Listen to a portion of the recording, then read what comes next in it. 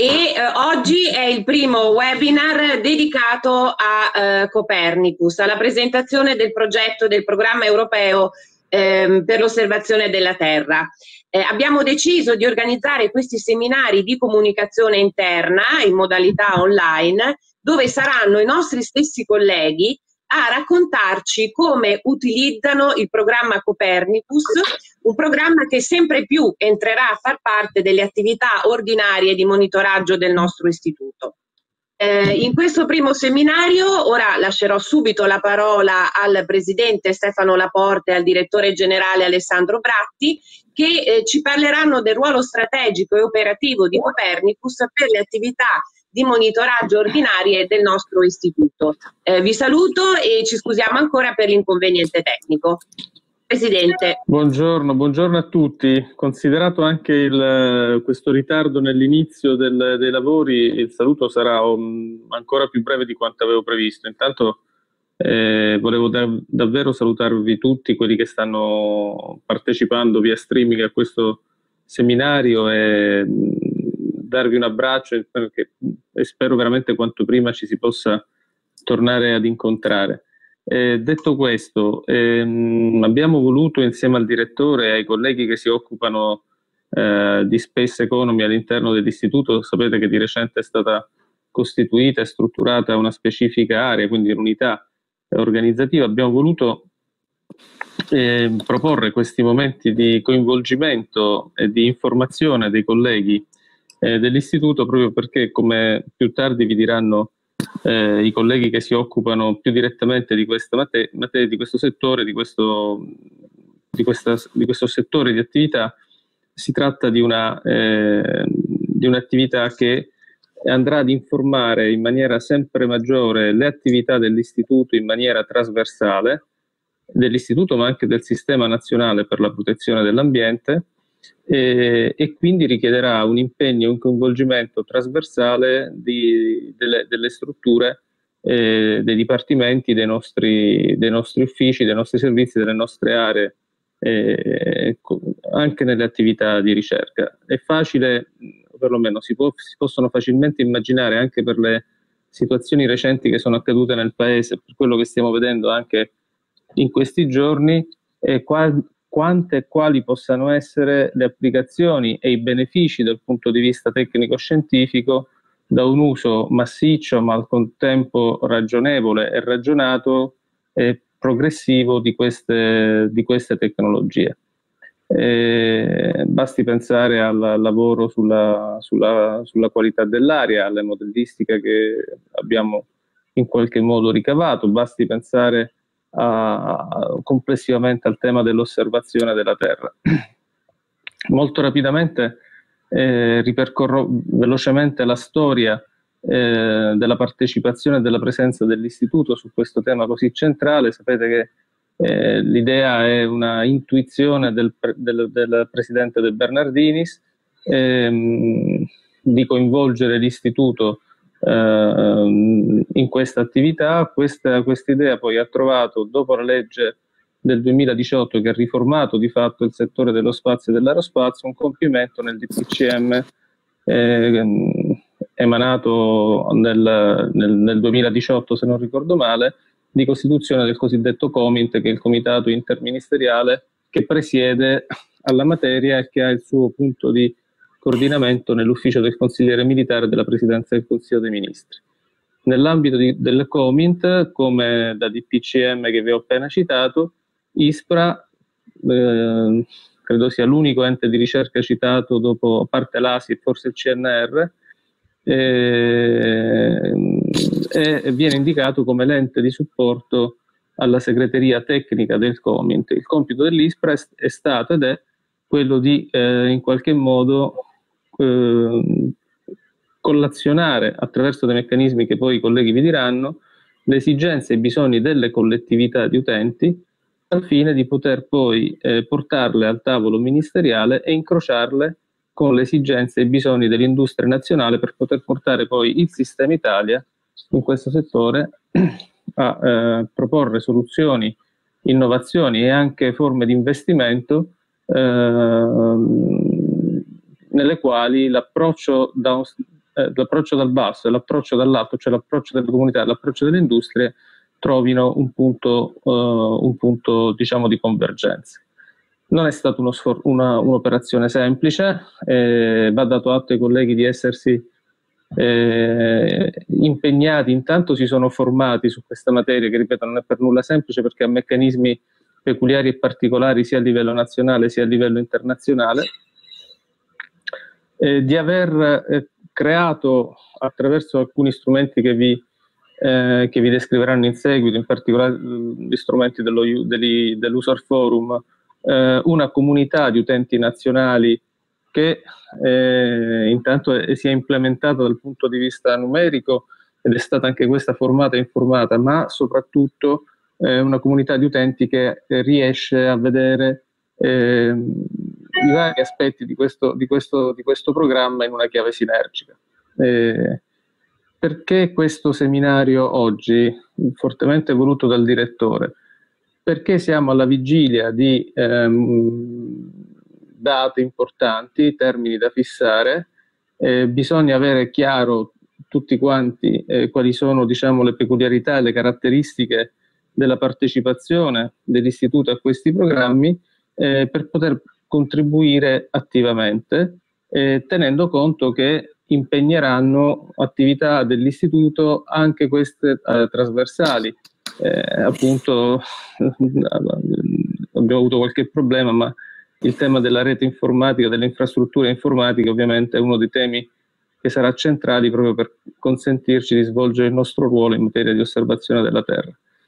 Ci sono poi tutta una serie di, di, di altre attività e di, anti, e di, altri punti di relazione eh, legate all'attività di altre amministrazioni. Eh, ve ne cito uno per tutti, visto l'esperienza che stiamo facendo anche in questi mesi. E ovviamente ci, ci sono dei programmi che saranno tirati fuori dal comitato interministeriale che dovranno necessariamente interfacciarsi con altri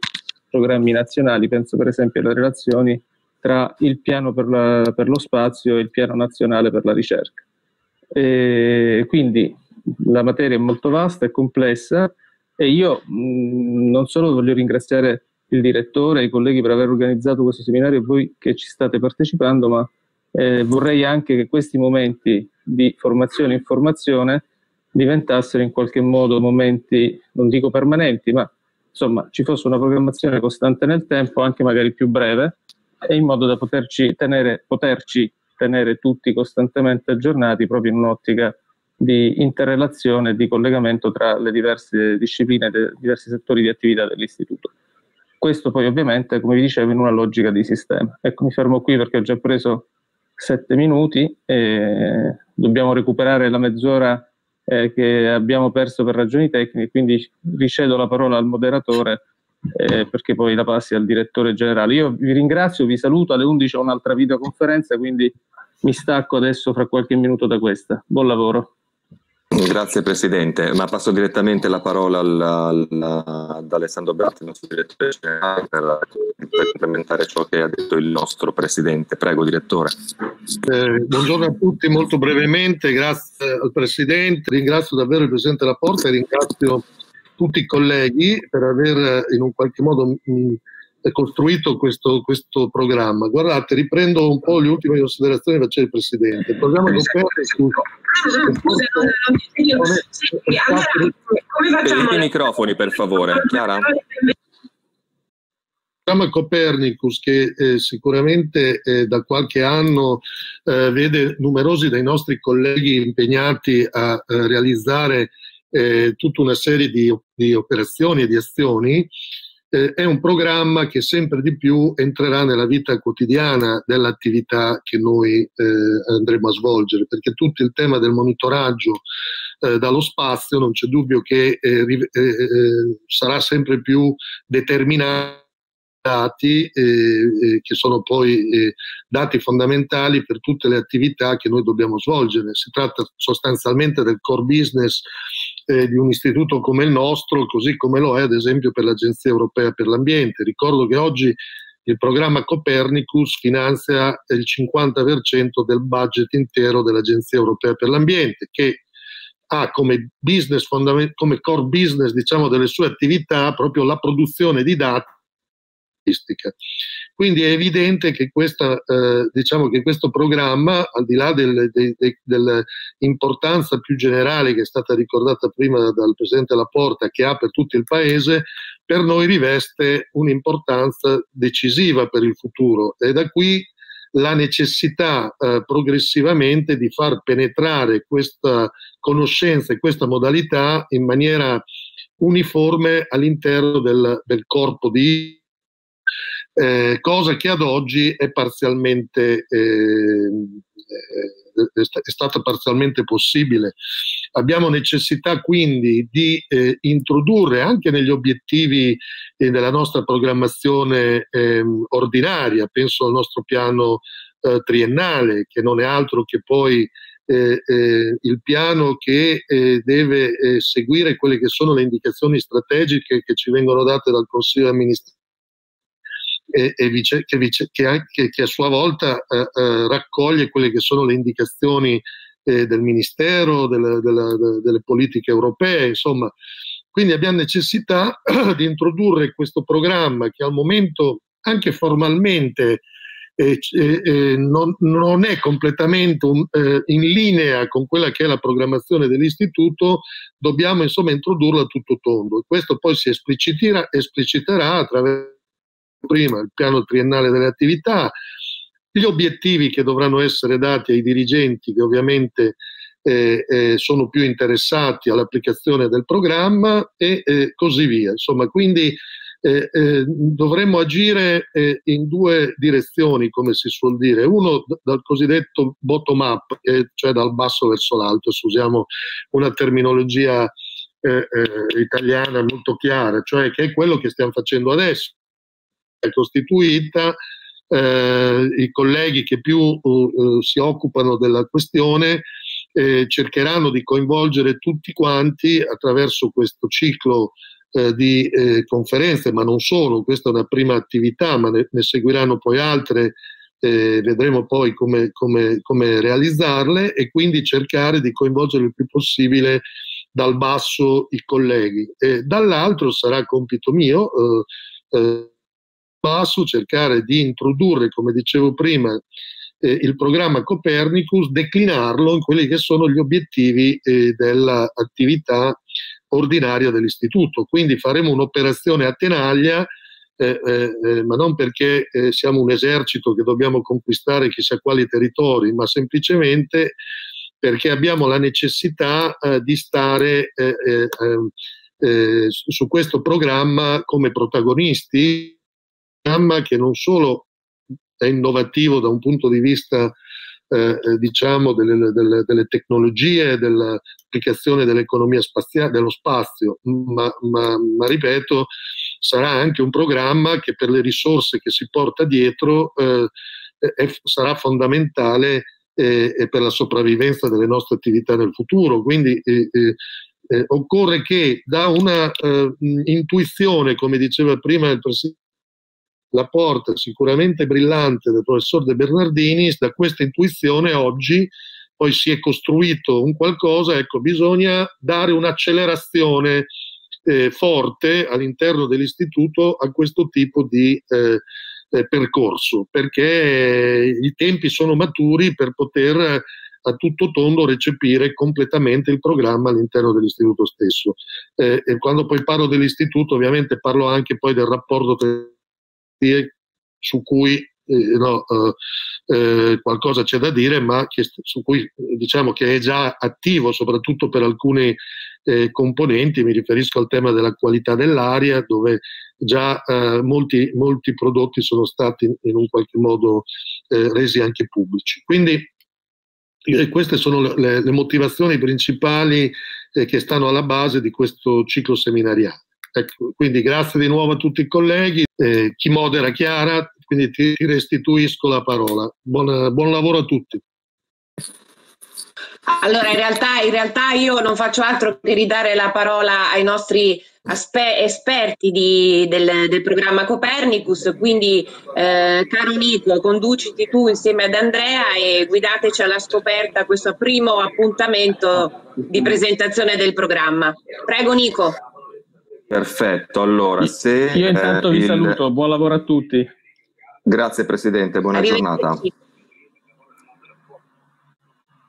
E appunto, allora stavano dicendo che questo, che, questo, eh, che questo, primo evento si contestualizza in una serie di seminari che potranno permettervi eh, di poter eh, capire quali possono essere per le vostre attività ehm, appunto l'utilità di quegli attrezzi in più nella vostra cassetta degli attrezzi che si chiamano Copernicus per portare avanti anche quelle che sono le vostre attività istituzionali eh, che abbiamo spiegato il, sia, sia, il Presidente che il Direttore. Questo appunto, questo primo ciclo di seminari per far sì che possiate avanzare alla fine di questo percorso, di, di, di, di questi seminari, eh, di avanzare delle richieste formative per i specifici aspetti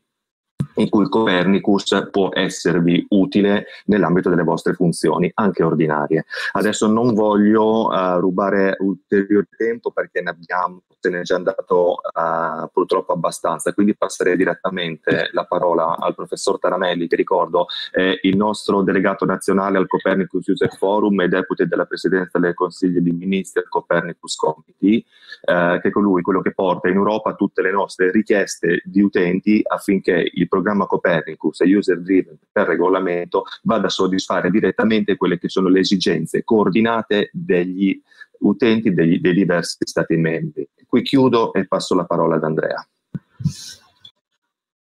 Nico, ti ringrazio. Eh,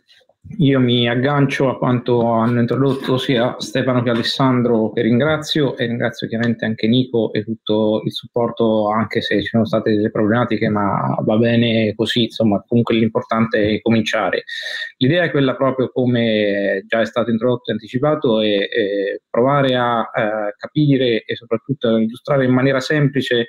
che eh, Copernicus è uno strumento che è già in uso uh, da parte di molti colleghi di ISPRA, cioè è un qualcosa che non sostituisce il lavoro che è già in itinere in ISPRA, ma dà degli strumenti in più e quindi degli strumenti che possano aiutare nel, nel lavoro quotidiano quello che sono diciamo, il, eh, diciamo, il, l'aggiunta di informazione rispetto a quello che già si fa uh, all'interno del, um, del proprio percorso. Adesso condivido lo schermo se ci riesco.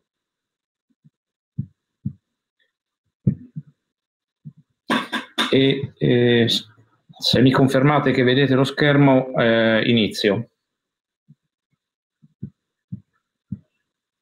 Qui è arrivato.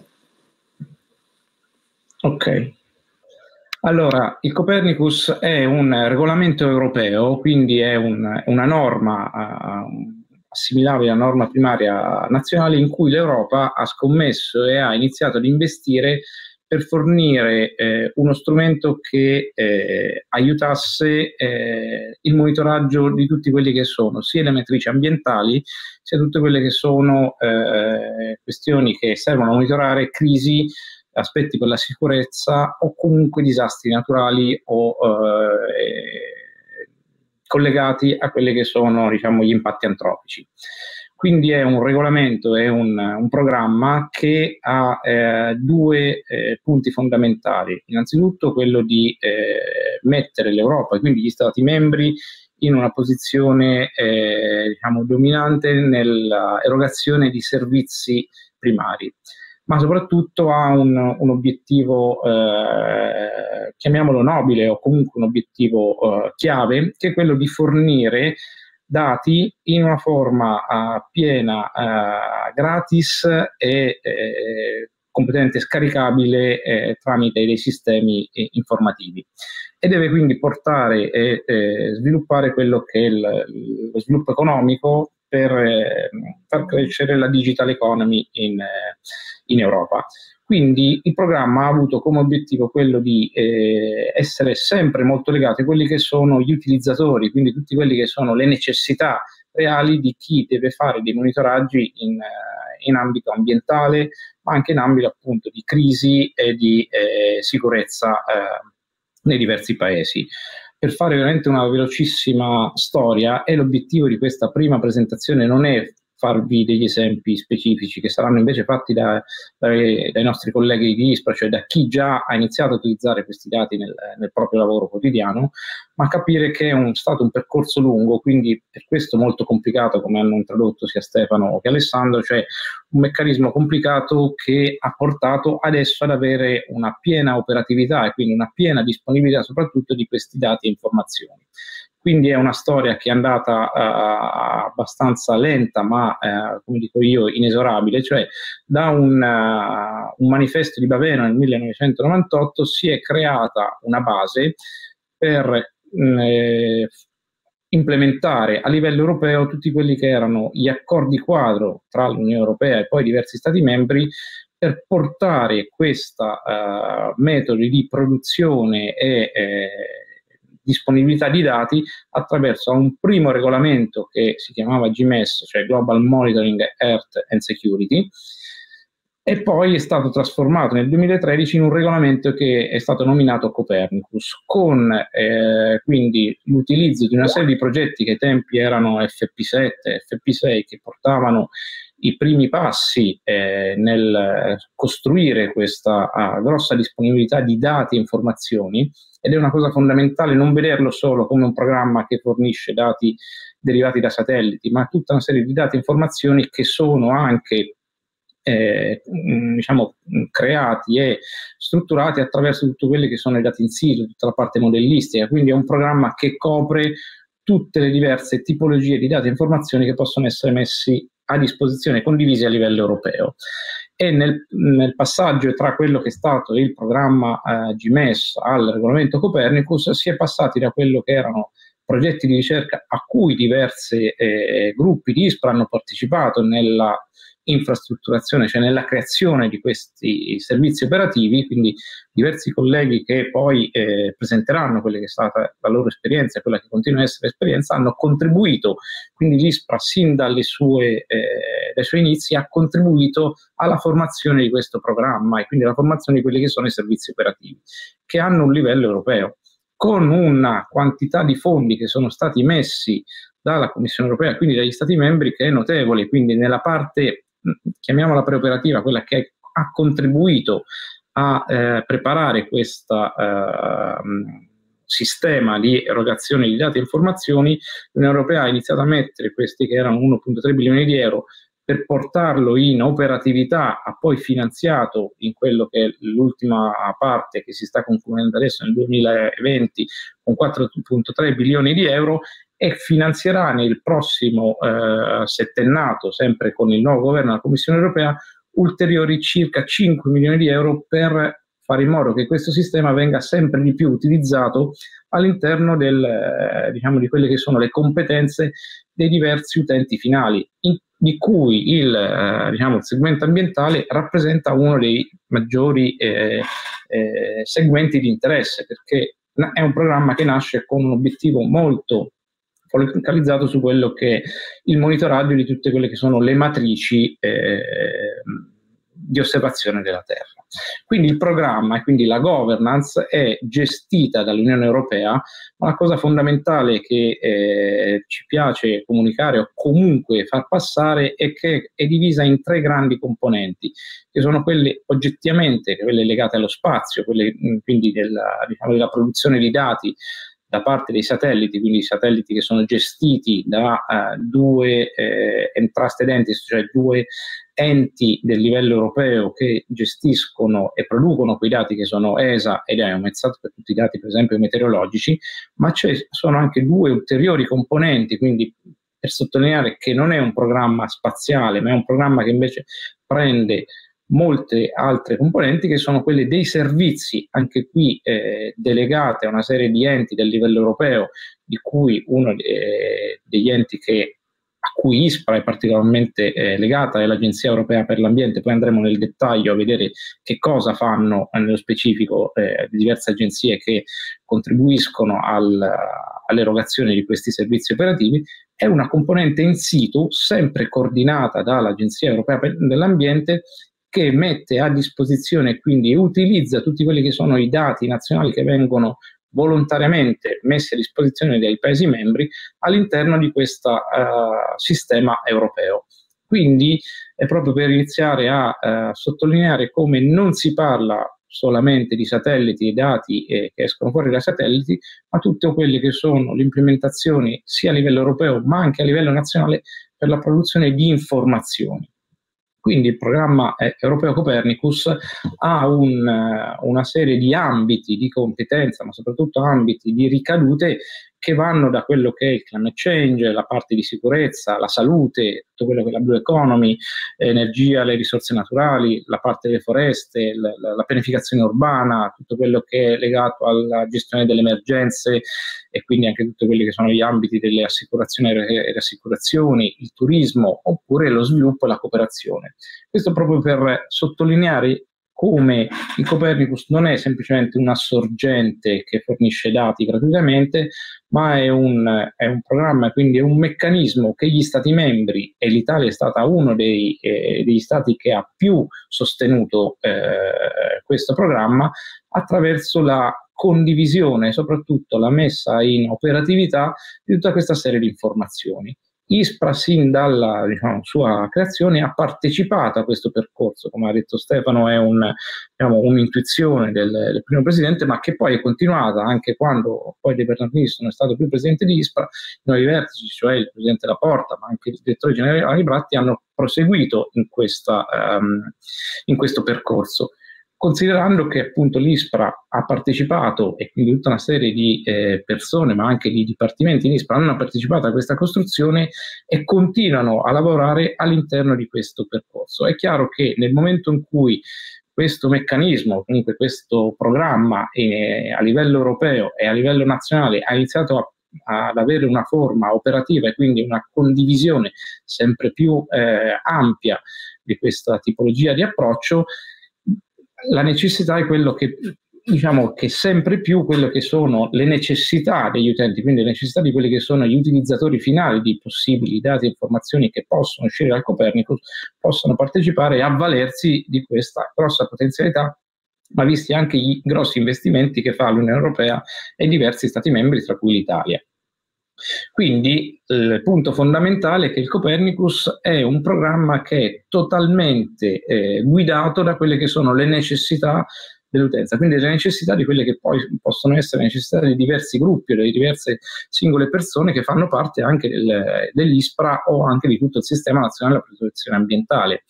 e quindi ci sono queste tre grosse componenti in cui la parte spaziale e la parte in situ forniscono i dati di base e le prime informazioni che possono essere eh, utilizzate e condivise e si passa poi ad avere anche tutta un'ulteriore tipologia di informazioni che sono diciamo, quelle che vengono elaborate da quelli che sono i servizi core che adesso andremo a, a, illustrare molto velocemente. Questa prima presentazione, insisto, non entra nel dettaglio perché saranno poi gli esempi pratici a, si spera diciamo, a stimolare un confronto sempre più eh, eh, acceso. Quindi il concetto è quello di trovare poi non solo un beneficio nel semplice utilizzo di questi dati e informazioni che arrivano dal livello europeo, ma sviluppare tutta una serie di servizi operativi legati a quello che è il livello europeo e quindi l'utilizzo sempre più eh, ampio all'interno anche del meccanismo che è eh, di ISPRA, quindi di tutte quelle che sono le norme primarie che l'istituto deve poi implementare sulla qualità dell'aria, sulla parte ambientale, sulla parte servizi ecosistemici, su tutte quelle che sono le matrici che eh, l'istituto quotidianamente eh, deve implementare utilizzando anche questo ulteriore eh, strato informativo. Andando molto velocemente, il, la parte appunto upstream, quella dei satelliti, già comprende cinque eh, missioni satellitari che sono state lanciate eh, dall'Unione Europea tramite l'ESA, quindi non entro nel dettaglio, ma ci sono cinque sentinelle che vengono chiamate sentinelle, quindi ci sono due satelliti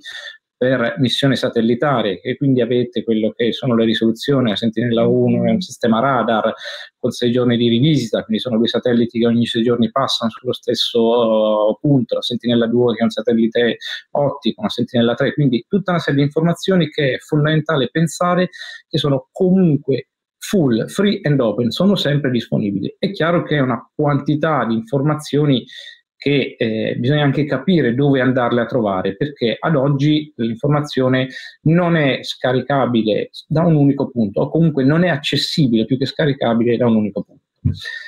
Oltre a queste eh, diciamo, prime missioni satellitari che comunque hanno una loro evoluzione, quindi verranno potenziate con il lancio di ulteriori satelliti per un, com, una completa costellazione di quattro satelliti per missione,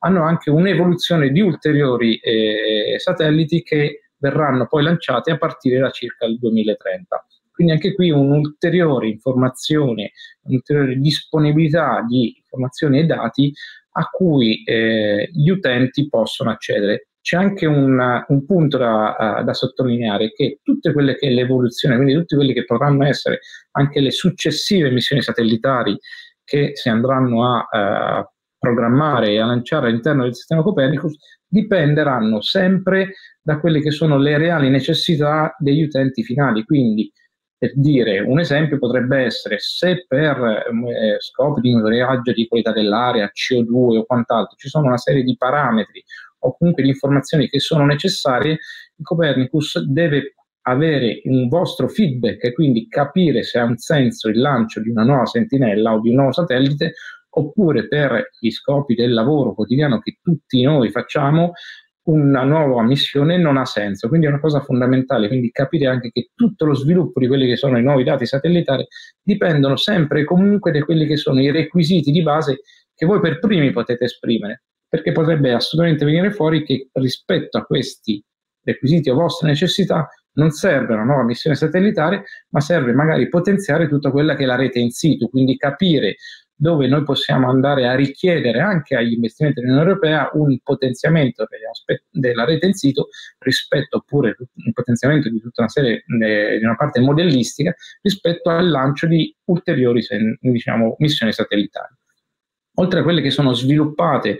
proprio da, eh, dalla Commissione europea e che abbiamo chiamato Sentinelle, c'è anche la possibilità di accedere a ulteriori dati, sempre di osservazione della Terra, che sono le missioni nazionali che vengono messe, anche qui condivise e pagate dall'Unione Europea per metterle poi a disposizione de, degli utilizzatori finali. Ci sono le missioni appunto anche nazionali, c'è Cosmos eh, SkyMed, c'è per esempio la nuova missione per spettrale Prisma, tutte quelle che quindi sono le disponibilità che ogni Stato membro, che chiaramente ha poi le, le policy per la condivisione dei dati, che possono essere richiesti. Anche queste sono tutta una serie di ulteriori dati e informazioni che possono venire eh, utilizzate rispetto a quelli che sono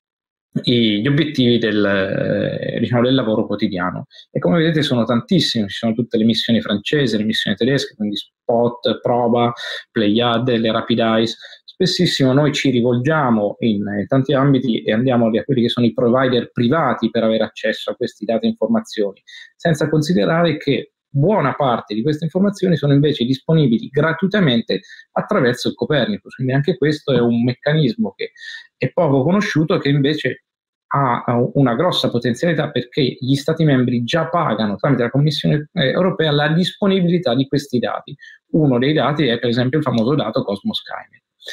Un'altra eh, gamba, come dicevo prima, è tutta quella parte in situ. Nel Copernicus ogni Stato mette a disposizione e anche ISPRA parte dei dati che sono poi utilizzati per reporting ambientali e quant'altro, attraverso l'AEA mette a disposizione attraverso il Copernicus tutti quelli che sono i dati in situ, che servono a calibrare e validare tutta la parte di produzione di dati e informazioni del Copernicus, non solo satellitare, ma anche tutta la parte modellistica. E poi per integrare tutto quello che sono eh, eh, le informazioni che, eh, che, forniscono i diversi servizi in maniera accurata.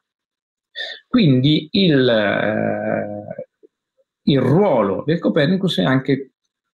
condividere tutto quello che gli Stati membri decidono di eh, mettere a disposizione tramite l'AEA dei dati in situ. Quindi vedete come anche ISPRA, avendo un ruolo chiave nell'AEA, contribuisce a questo, eh, a questo schema. È fondamentale eh, tenerlo in considerazione perché la EA stessa, e poi vedremo che la maggior parte di quelli che sono gli enti delegati dalla Commissione per tenere in piedi questi servizi operativi, sia a livello europeo e poi questo sharing dei dati, finanzia la sussistenza, per esempio, dell'Agenzia Spaziale Europea oppure l'Agenzia uh, Europea per l'Ambiente con dei fondi che superano ben più del 50% di quelli che sono i fondi operativi di queste agenzie. Quindi le agenzie stesse come l'AEA o l'Agenzia Spaziale Europea oppure SNWF per tutta la parte della modellistica, per la CO2, per il clima e per la parte qualità dell'aria,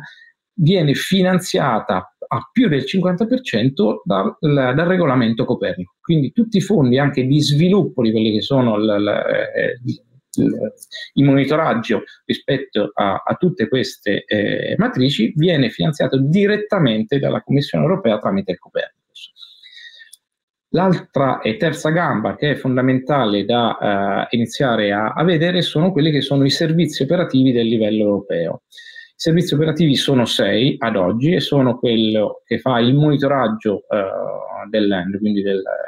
dell'uso e del, della copertura del suolo, quello che il monitoraggio del eh, Marine Environmental Monitoring, il monitoraggio dell'ambiente marino per gli aspetti ambientali, quello che è tutta la parte di monitoraggio dell'atmosfera, il monitoraggio eh, rispetto ai servizi di cambiamento climatici, un eh, servizio completamente dedicato all'emergenza e al supporto alle situazioni di emergenza e un servizio legato alla sicurezza diciamo, tutti i servizi hanno comunque e sempre quello che si diceva prima, l'accesso gratuito e open a tutte le, eh, le informazioni, tranne due servizi che sono quello di emergenza e il servizio di sicurezza. Mentre nel climate change, in quelli che sono land cover, land use, marine environment o atmosfera chiunque di voi si può registrare sul sito e avere accesso a tutti i dati e le informazioni. Per quanto riguarda il servizio emergenza e il servizio sicurezza, invece c'è un focal point nazionale che per quanto riguarda il servizio emergenza è la protezione civile nazionale e per quanto riguarda il servizio di sicurezza è, il, ehm, è coordinato dal Ministero della Difesa. Quindi per avere quei dati, quelle informazioni, bisogna rivolgersi al focal point nazionale che accredita o comunque fa una serie di richieste per conto dello Stato membro e poi comunque può fornire i dati e le informazioni. Come vi dicevo, i servizi eh, operativi del Copernicus a livello europeo non sono gestiti direttamente dalla Commissione europea, ma la Commissione europea ha individuato una serie di centri di competenza a cui delegato l'operatività dei servizi. Per quanto riguarda i servizi land, sono sulla scala paneuropea e locale gestiti dall'Agenzia Europea per l'Ambiente, mentre per la parte globale sono gestiti dal eh, centro di ricerche JFC che sta a Ispra a Varese. Per quanto riguarda invece il servizio ambientale marino, è delegato al, eh, alla fondazione eh, pubblica Mercator Ocean che è francese. Per quanto riguarda invece i servizi eh, clima e qualità dell'aria, è stato dato un contratto di delega al centro di ricerca che in questo momento sta reading SNWF. Vi sottolineo eh, gli aspetti del centro di ricerca eh, di SNWF perché chiaramente è un centro di ricerca sovraeuropeo che ha sede in Inghilterra, ma avendo i fondi eh, finanziati da più del 50% dalla Commissione europea, chiaramente avrà un dovrà necessariamente spostarsi, quindi dovrà ricollocare tutti quelli che sono i suoi servizi operativi in altro Stato. È chiaro che è uno degli aspetti che è di interesse anche dell'Italia. Oltre a questi due centri eh, operativi che sono clima e qualità dell'aria, SNWF sta iniziando a costruire un ulteriore servizio operativo che è quello per il monitoraggio della CO2 perché sarà uno dei più grandi investimenti nel prossimo settennato del governo europeo e quindi tutti quelli che sono i contributi, i requisiti o anche le attività che per esempio l'ISPRA, il Sistema Nazionale per la Protezione Ambientale, fanno e dovranno fare nella, negli aspetti del monitoraggio della CO2, stima delle quote e quant'altro, dovranno utilizzare sempre per norma europea tutto quello che comunque il servizio che si sta costruendo in SNWF eh, per il monitoraggio della CO2 eh, inizierà a fornire. Per quanto riguarda invece l'Emergency Management Service, il eh, centro di competenza è, come si diceva, il JRC di Spravarese, mentre per eh, il servizio di sicurezza è diviso in tre sottoservizi che hanno a che fare con gli aspetti di eh, controllo eh, delle frontiere che è implementato da Frontex, il, la sorveglianza marittima che il, centro, il cui centro di competenza è EMSA, e tutto quello che è il supporto alle azioni esterne, che sono per esempio tutte le crisi, non solo ambientali ma anche legate alle guerre e quant'altro, è gestito da SACEN, che è un centro, l'EUSC, che è un centro satellitare eh, collocato in Spagna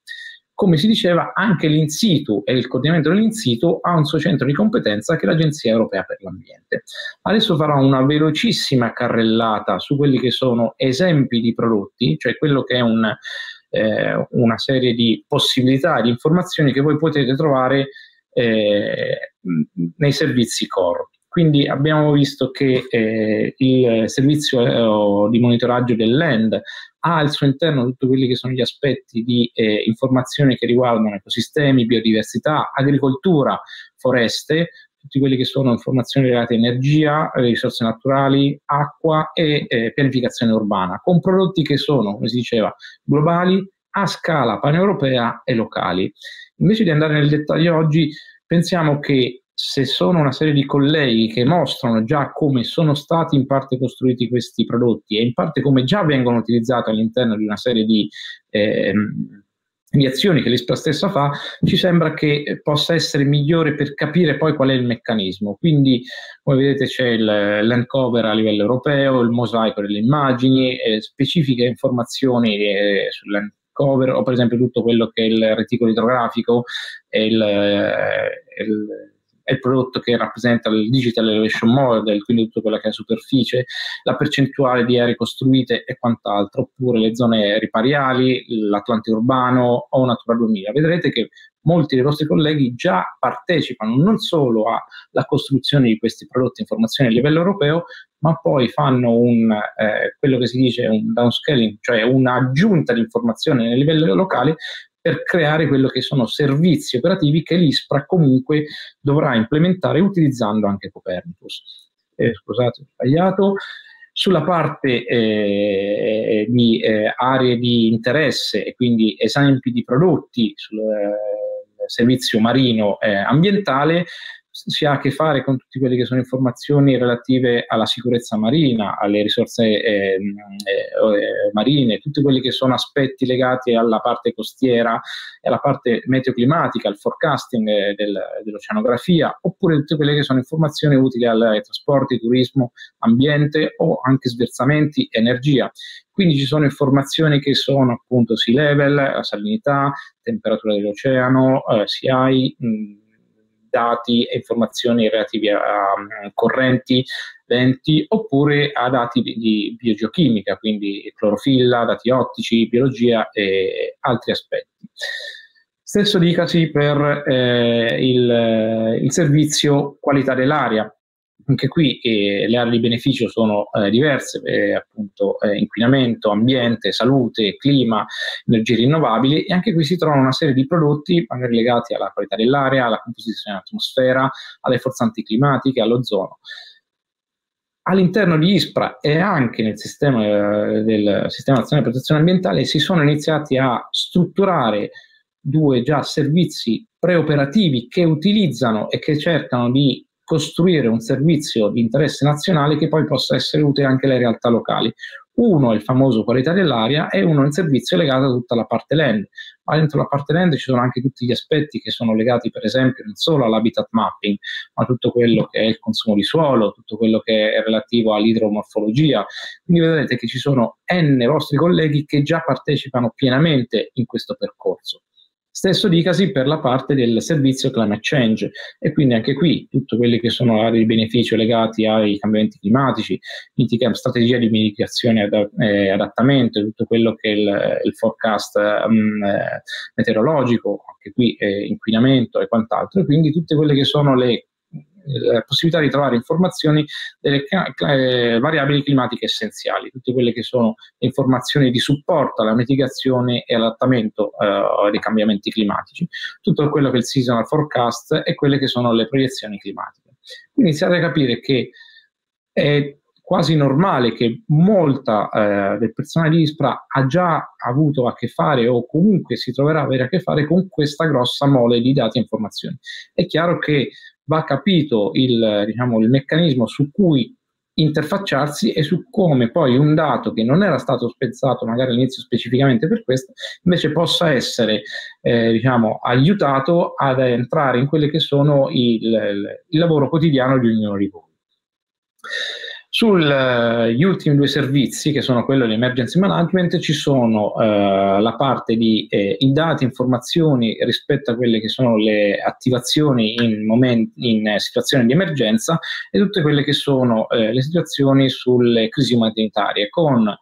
una, la possibilità di avere una mappatura uh, rispetto al risk and recovery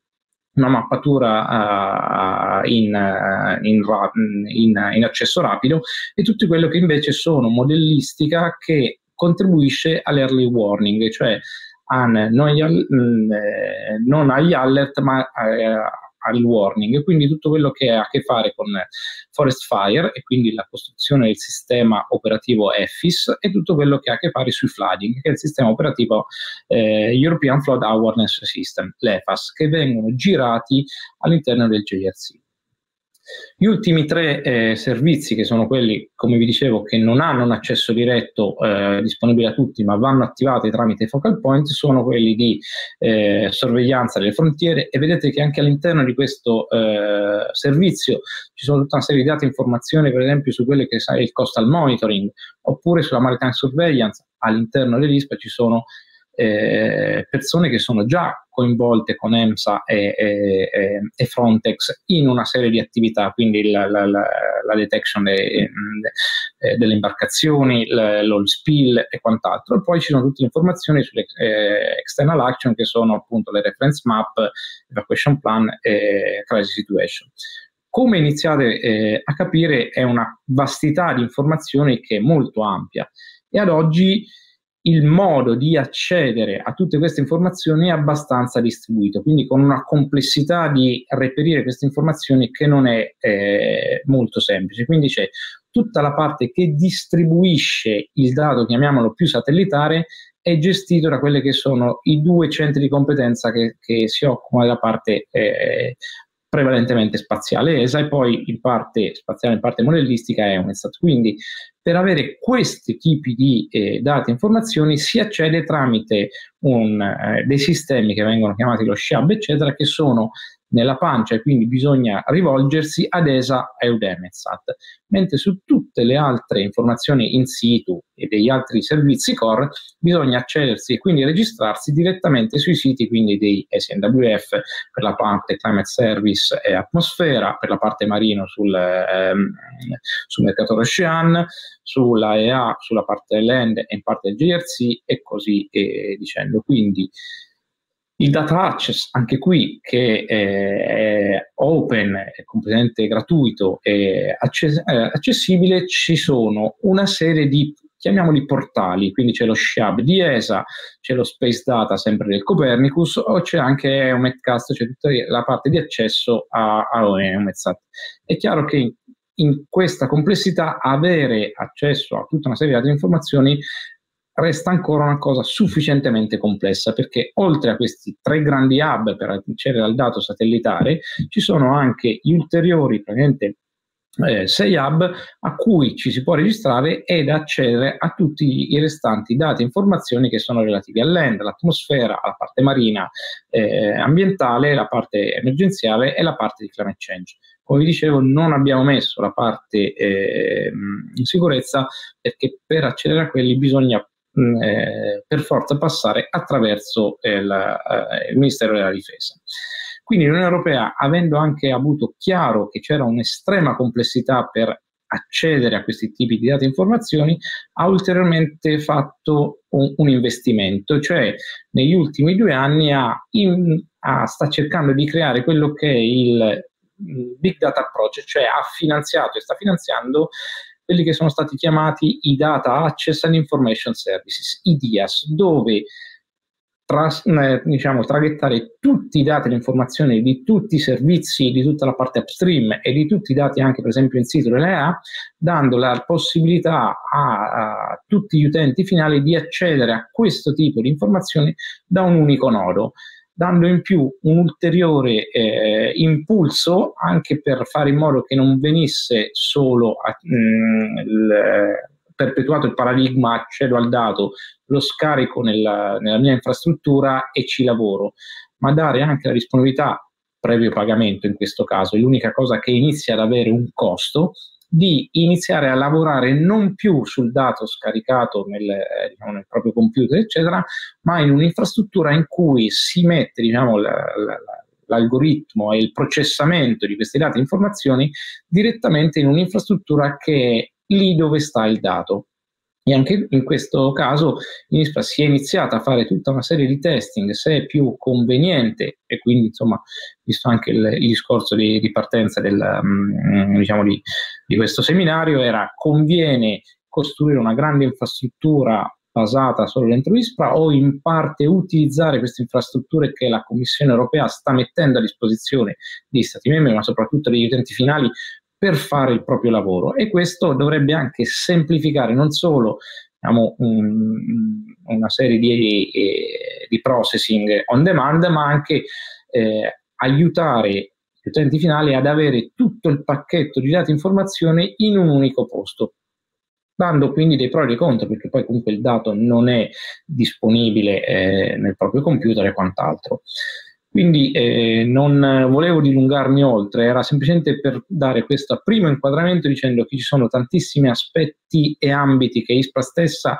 ha contribuito a creare nel Copernicus e in cui adesso si affaccia anche per utilizzarlo al meglio. E quindi eh, l'idea, come eh, già anticipato a, dall'inizio del seminario, è darvi una vastità di informazioni, soprattutto in maniera pratica, iniziare a far vedere quello che già è in essere e quelle che sono tutte le potenzialità. E poi l'ISPRA, come eh, ha detto bene il Presidente, ha iniziato ad avere un ruolo all'interno della nuova diciamo, norma eh, che ha riorganizzato il, lo spazio in Italia, dando un'importanza molto ampia alla parte dei servizi, perché di base tutta la parte che è osservazione a terra deve essere utile poi ai servizi quotidiani e sono uno dei più grandi investimenti che poi non sono di reale utilità. Quindi l'idea di questa uh, serie di seminari è far, cap- far capire o comunque far vedere che al, nonostante una diciamo, complessità di linguaggio, comunque una complessità di, di sistema, poi alla fine il lavoro è più semplice perché quotidianamente molti di voi già lo fanno o comunque si stanno affacciando in questo mondo che nel meccanismo sembra molto complesso ma poi alla fine è l'utilizzo di un ulteriore strumento nel, in quello che è il monitoraggio ambientale che eh, voi tutti fate. Io mi fermerei qui senza poi entrare nello specifico eh, e, e lascio la parola a Nico.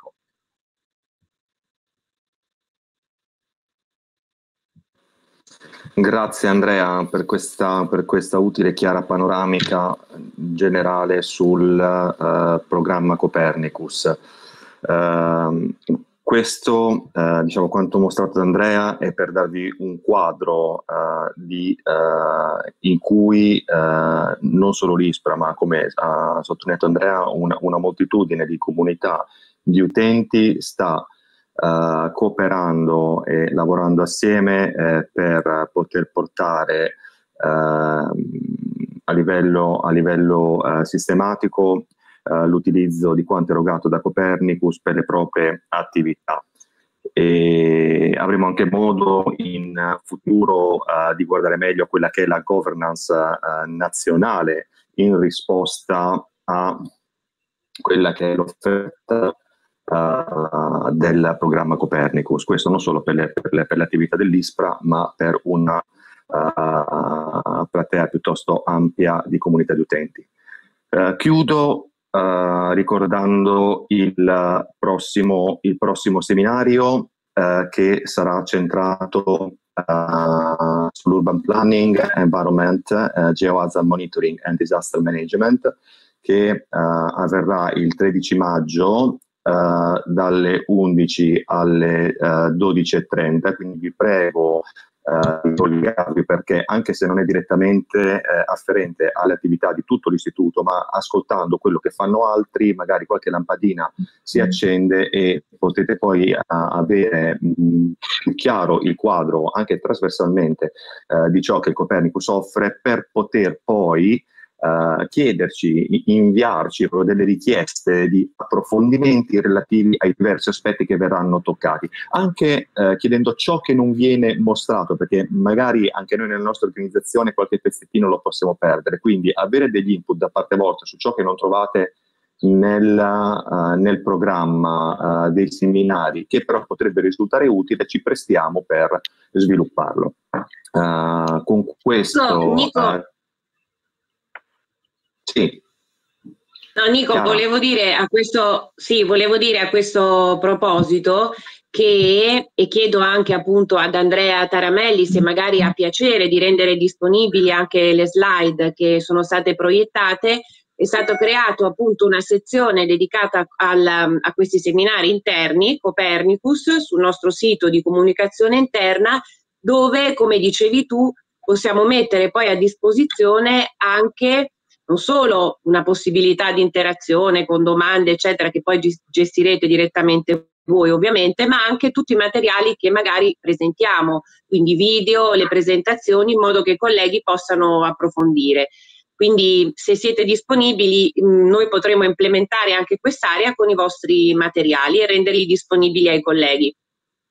Assolutamente Chiara, sì scusa Nico, eh, eh, io volevo anche eh, diciamo, sottolineare che eh, L'istituto ha fatto, insisto, grossi investimenti e ha creato un'area spazio proprio anche per questo motivo, per avere un, un nodo a cui rivolgersi che eh, non è solo Nico Bonora, ci sono una serie di persone che sono ufficialmente coinvolte e quindi avere anche una possibilità di poter confrontarsi, quindi l'area non è una cosa distaccata, ma utilizzare diciamo, il know-how e quindi anche la,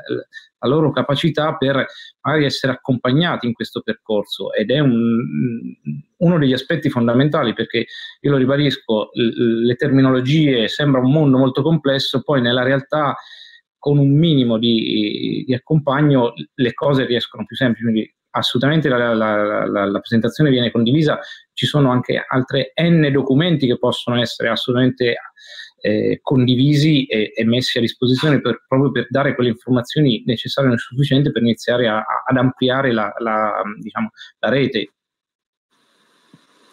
sì, eh, grazie Andrea per questa precisazione che, che chiaramente condivido. E, tanto per farvi dei nomi, eh, oltre, oltre, a me e Andrea, quali, quali, quali, riferimenti? Ci sono anche quelli di Serena Geraldini, Antonello Bruschi, Daniele Spizzichino e Maria Vittoria Castellani, eh, che eh, facenti parte dell'area spazio uh, sono, sono, sono, attivi in quest'ambito e chiaramente si prestano anche a raccogliere le vostre, eh, le vostre istanze. Eh, a questi si aggiunge Irene Rotiglio eh, che è una colonna portante di, del, di tutte de, delle attività che stiamo portando avanti e che seppur non afferisce all'area spazio dà una mano enorme tutto quello che stiamo facendo. Quindi tutte queste persone sono a vostra disposizione per poter recepire quelle che sono le vostre richieste. E in effetti l'area è stata creata anche per questo, uh, quindi ripeto, siamo a vostra disposizione. E con questo non ho altro da aggiungere. Uh, se il, sì, io lascerei... Esatto. Vuole dire due parole per no, concludere? Cose perché ha spiegato molto bene eh, alla fine, nel senso che poi eh, il motivo per cui stiamo facendo questa, questi seminari è anche quello di avere dei feedback di ritorno per capire poi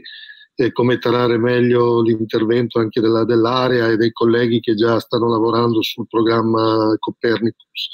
Eh, niente, semplicemente ho dato un'occhiata su YouTube, vabbè, eh, diciamo che è andata, eh, c'è stato qualche momento, ogni tanto si blocca, cercheremo di capire eh, meglio come fare, però insomma volevo ringraziare ovviamente tutti, quelli, tutti i colleghi che hanno collaborato anche alla, mm,